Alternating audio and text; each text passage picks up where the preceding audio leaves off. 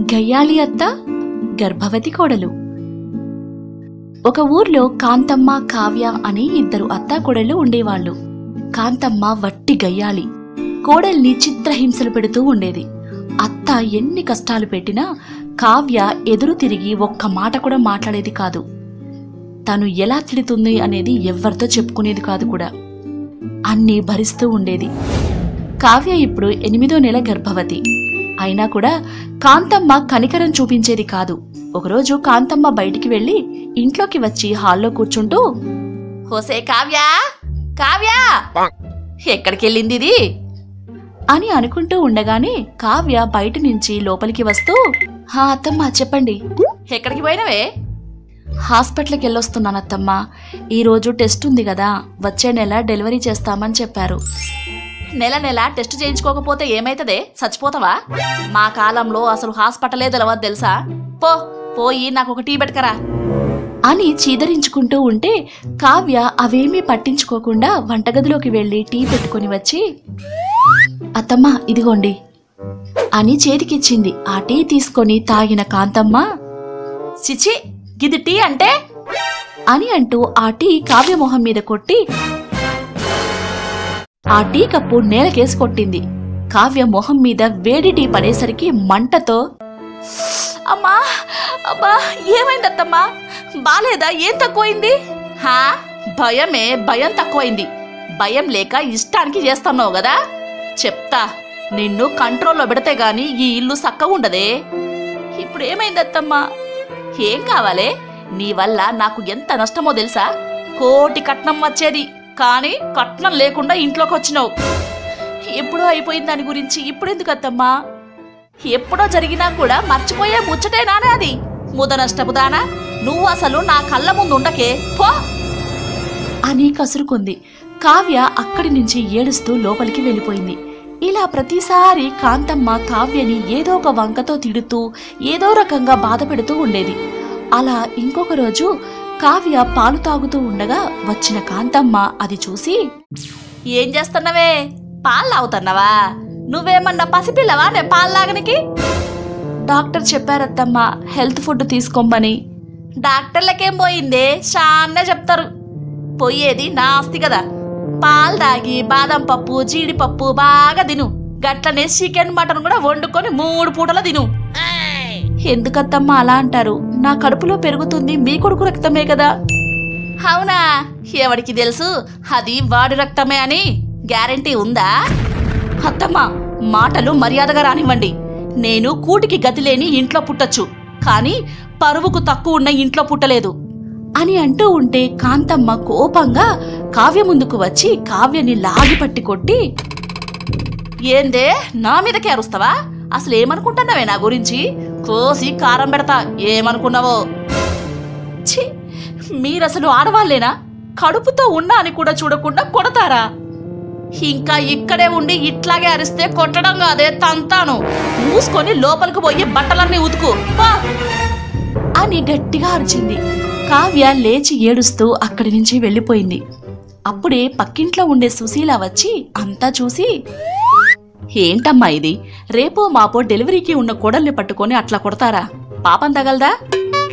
కా విషయం చెప్పడానికి మీరెవరు? ఇది నా ఇల్లు. నా ఇంటి విషయంలో జోక్యం చేసుకుంటే ఎవరిని చూడను. అందరినీ కొడతా.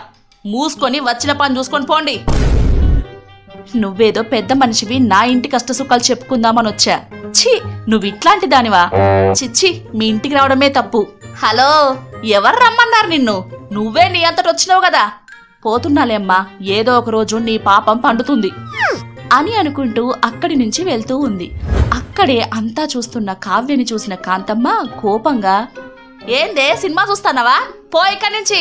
అని కసురుకుంది. కావ్య అక్కడి నుంచి బట్టలు ఉతికే చోటికి వచ్చి బట్టలన్నీ ఉతికేసి ఉతికిన బట్టలు ఆరేసి లోపలికి వచ్చింది. లోపలికి రాగానే కాంతమ్మ వచ్చినవా? ఇల్లు గడిగి వారం దాటింది. మంచిగా సర్ఫ్ వేసి ఇల్లంతా గడిగాయి నాకిప్పుడు నీరసంగా ఉందత్తమ్మా. రేపొద్దున్న కడుగుతాలేండి. పోనీ గంట తర్వాత కడుగుతాను. ఏందే? పని తప్పించుకోవడానికి వంకలా? నేను బయటికి పోతాన్నా. గంట సేపట్లో తిరిగొస్తా. వచ్చే వరకు ఇల్లంతా అద్దంలా మెరిసిపోవాలి. లేదంటే నీ ఈపు ఎర్రగా కందిపోద్ది. అని అనుకుంటూ అక్కడి నుంచి వెళ్ళిపోయింది. అత్త వెళ్ళగానే కావ్య ఏడుస్తూ బాత్రూంలోకి వెళ్ళి నీళ్ళ బకెట్ తీసుకొద్దామని ప్రయత్నిస్తూ ఉంది. అలా నాలుగు అడుగులు వేయగానే కావ్య బకెట్తో పాటు తను కూడా కాల్జారి కింద పడిపోయింది. కాసేపటికి కాంతమ్మ వచ్చి చూసింది. బకెట్ కింద పడి ఉంది కానీ కావ్య కనిపించలేదు. ఏదిది? బకెట్ పడేసి ఏడికిపోయింది? దొంగ మొహంది ఇంటికి రాని చెప్తా. అని అనుకుంటూ చూస్తూ ఉంది. చాలాసేపు అయ్యింది కావ్య ఎంతకీ రాలేదు. చీకటి పడింది అయినా కావ్య రాలేదు. వెంటనే ఫోన్ తీసుకుని కొడుకు మోహన్కి ఫోన్ చేసి నీ పెళ్ళాం నాకు చెప్పకుండా ఎక్కడికో పోయిందిరా. అవునా? పిచ్చిది. ఈ పారిపోవడం ఏదో పెళ్ళవ్వగానే పోయినా అయిపోయేది కదా? అవునరా. అది వెళ్ళగానే నీకు ఇంకో పెళ్ళి చేసి బోలెడు కట్టం తీసుకొచ్చేదాన్ని. ఇప్పటికైనా ఏం మించిపోలేదు. పోతే పోయిందిలే. నీకు ఇంకో పెళ్ళి చేద్దామనుకుంటున్నారా అని అంటూ ఉంటే మోహన్ కోపం బాధ కలుపుకొని అలా అనడానికి నీకు సిగ్గుగా లేదా అమ్మా? నీ కొడుకు భార్య నీ కోడలు పైగా కడుపుతో ఉంది. కనీసం మానవత్వం కూడా లేకుండా దానితో వెట్టి చాకరీ చేయిస్తావా? నువ్వెన్ని కష్టాలు పెట్టినా అది నాకు ఒక్క రోజు కూడా నీ గురించి చెప్పలేదు తెలుసా? పక్కింటి సుశీల ఆంటీ నీ గురించి మొత్తం చెప్పింది. అప్పుడు అర్థమైంది నీ నిజస్వరూపం ఏంటో ఛీ! అమ్మ అనే పిలుపులో ఆప్యాయతను చూపిస్తారు. అదే అమ్మకి ఇంటికి కొడదొస్తే అహంకారాన్ని ఎందుకు అమ్మ చూపిస్తారు? ఏం మాట్లాడుతున్నావురా? నువ్వు పెట్టిన కష్టాలకి నా పెళ్ళం కళ్ళు తిరిగి కింద పడింది. టైంకి నేను వచ్చి చూశాను కాబట్టి హాస్పిటల్కి తీసుకొచ్చి కాపాడుకున్నా. లేకుంటే ఏమయ్యేది? అని అనగానే కాంతమ్మ గుండె డక్కుమంది. కాస్త కంగారు పడుతూ అవునా ఇప్పుడు ఎక్కడున్నావురా చెప్పు నేను వస్తాను. వద్దులే అమ్మా వద్దు. చెప్తే ఇప్పుడు నిజంగానే నా పెళ్ళాన్ని కట్నం తేలేదని చంపేస్తావు. అలా జరగనివ్వను. ఇదే నిన్ను అమ్మ అని చివరగా పిలవడం కూడా. మేమెక్కడున్నది ఎలా ఉన్నది కూడా నీకు తెలియనివ్వను. ఉంటాను అని చెప్పి ఫోన్ కట్ చేశాడు. తన భార్యని చూసుకుంటూ ధైర్యం చెప్తూ ఉన్నాడు. అలా ఆ రోజు నుంచి మోహన్ దగ్గరుండి వాళ్ళ అమ్మ నుంచి కావ్యని కాపాడుకుంటూ హ్యాపీగా ఉన్నాడు. కన్న కొడుకే కాలిదానిలా పెట్టాడని కాంతమ్మ రోజూ ఏడుస్తూ ఉంటే ఓదార్చే వాళ్ళు కూడా లేక కుమిలిపోతూ ఉండేది. నమస్కారం అండి నేను మీ అందరూ మెచ్చిన అత్తని. హాయ్ అండి. నేను మీ అందరికీ నచ్చిన కోడల్ని. ఇక నుండి మీ అందర్నీ అలరించడానికి మిమ్మల్ని ఆనందపరచడానికి మన మహా టీవీ ద్వారా మీ ముందుకి వచ్చేస్తున్నాం. మరింకెందుకు ఆలస్యం? ఇప్పుడే మా ఛానల్ని సబ్స్క్రైబ్ చేయండి. నోటిఫికేషన్ కోసం గంట కొట్టుండ్రి. మీకు అత్తగారిష్టమా? లేక కోడలు ఇష్టమా? కామెంట్ రూపంలో తెలియజేయండి. చూస్తూనే ఉండండి. మహా టీవీ